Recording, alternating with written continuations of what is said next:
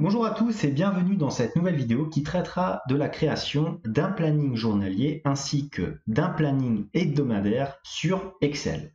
Cela vous sera notamment utile si vous devez gérer les tâches d'une équipe.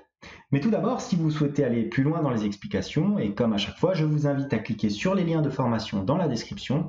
Et si vous ne souhaitez pas rater mes vidéos sur la comptabilité, la finance et l'utilisation des outils tels qu'Excel dans le monde de l'entreprise, n'hésitez pas vous abonner à la chaîne. Voilà tout, place au tutoriel. Alors pour faire un rétro-planning, et comme à chaque fois, on va commencer par mettre un titre à notre fichier. On va l'appeler rétro-planning journalier. Comme ceci. Vous allez sélectionner ici un fond euh, bleu, une police blanche. Vous allez sélectionner les différentes cellules ici afin de fusionner et centrer votre titre. Vous allez d'ailleurs ensuite le remettre à gauche et bien sûr en gras. Vous pouvez naturellement augmenter la police comme ceci. Ensuite, pour votre planning, je vous conseille de vous placer dans euh, la cellule A3 pour y mettre votre intitulé de colonne qui sera liste des tâches. Comme ceci. Je vous conseille ensuite d'écarter euh, la colonne en cliquant deux fois ici sur cette petite bordure. Vous allez vous mettre en gras. Vous allez ensuite, dans la cellule B3, vous allez commencer à taper des heures. Donc on va partir du principe qu'on commence à 8 heures du matin, comme ceci. Ensuite, 9 heures, deux points, comme ceci. Vous remarquez, si vous faites un clic droit, format de cellule, que vous avez directement un format heure ici qui s'affiche dans votre cellule. Vous pouvez faire la même chose, donc égal à 9 moins 8 plus l'heure précédente. Pourquoi est-ce que je fais ça? Parce que cette formule vous permet maintenant, si vous la tirez, regardez, d'automatiser euh, l'incrémentation de vos heures. Comme ceci. Je sélectionne la ligne et je centre le tout. Je vais naturellement le mettre en police blanche, fond bleu, comme notre titre principal. Et voilà. Maintenant, je peux sélectionner les différentes lignes de mon tableau, comme ceci. J'y applique des bordures, très simplement. Je peux aussi sélectionner la colonne ici, colonne qui correspondra à la liste des tâches, et affecter une couleur bleue un petit peu plus claire, comme ceci. Je peux aussi raccourcir cette colonne-là. Pourquoi? Pour y mettre un petit tableau ici, avec le nom des personnes affectés aux différents projets.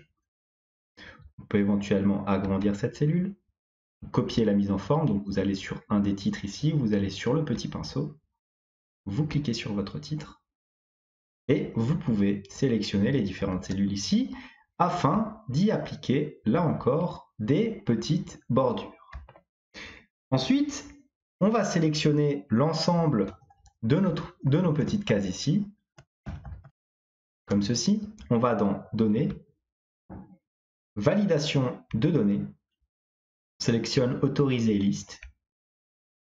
On va autoriser de différentes listes réservées, soit la plage horaire réservée, soit il faut la libérer éventuellement.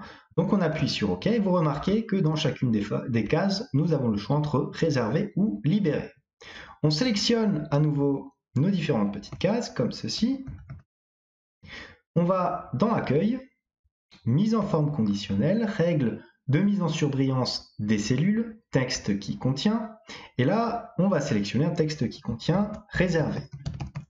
Comme ceci, on va dans Format personnalisé, un petit cadre apparaît, nous allons dans Remplissage, nous sélectionnons par exemple un remplissage en vert, on retourne dans police, nous allons en couleur dans la même police que le remplissage, comme ceci, et on appuie sur OK. On appuie encore une fois sur OK, et on constate que si je veux sélectionner cette plage horaire, regardez, celle-ci passe en vert. Le problème étant que maintenant, si je resélectionne et que je passe en libéré, je me retrouve ici avec un texte qui apparaît. Donc il va falloir l'éliminer. Pour ce faire, on resélectionne nos différentes cellules. comme ceci. On va de la même façon dans mise en forme conditionnelle, texte qui contient. Cette fois-ci, on va sélectionner libérer. Nous allons encore une fois dans format personnalisé. Couleur, cette fois-ci, on va choisir du blanc la police et du blanc pour le remplissage. On appuie sur OK. On appuie encore une fois sur OK. Et on constate que lorsque l'on choisit le créneau à réserver, si on décide de ne plus le réserver, on se retrouve avec une case blanche. Si par exemple, euh, je vais dans la liste des tâches salle de réunion, comme ceci, et que je réserve de 8h à 9h, comme ceci, je me retrouve bien avec différents créneaux ici réserve. Si maintenant je rajoute une tâche, par exemple nettoyage, je peux sélectionner naturellement les différents créneaux ici, réserver, réserver. Je peux mettre éventuellement le prénom des gens qui seront affectés à ces différentes tâches. Mettons par exemple euh, Jacques, Jean. Voilà, vous avez compris un petit peu le principe de ce petit planning journalier. Voyons rapidement à présent un planning hebdomadaire. Alors pour le planning hebdomadaire, vous allez voir, c'est à peu près euh, la même façon de faire. Hein, de toute façon, on va voir qu'au niveau de notre titre, cette fois-ci, on va l'appeler rétro planning hebdomadaire.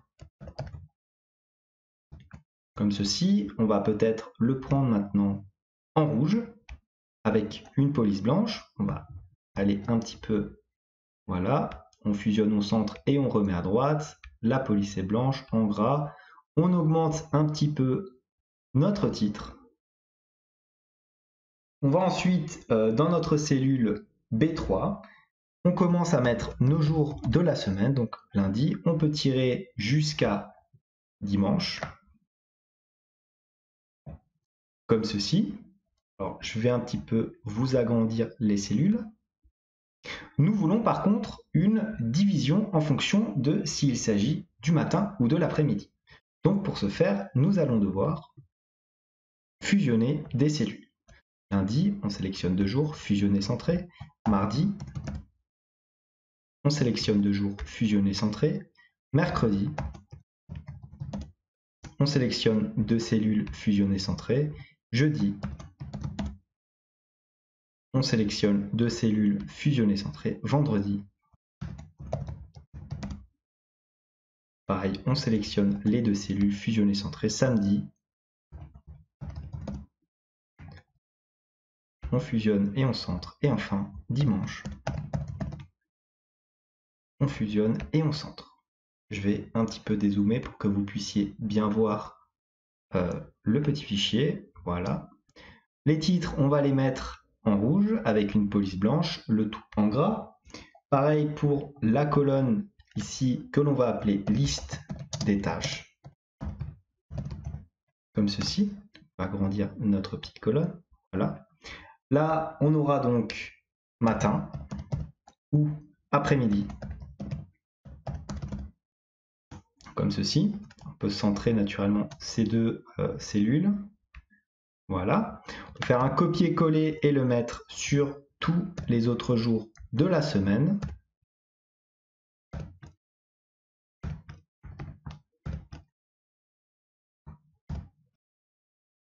Voilà. On peut sélectionner alors notre petit tableau comme ceci. Voilà, on peut y mettre des bordures un petit peu partout. Pareil pour la liste des tâches. Des bordures un peu partout. Vous pouvez sélectionner aussi un remplissage, on va peut-être le mettre éventuellement en gris clair. Voilà, parfait. On peut sélectionner nos petits titres, les mettre en gras, comme ceci. Sélectionner les titres en dessous des jours, mettre un rouge un petit peu moins vif éventuellement. Voilà, peut-être même un petit orange. Ensuite, on peut faire une petite colonne comme tout à l'heure avec la liste des personnes affectées aux tâches.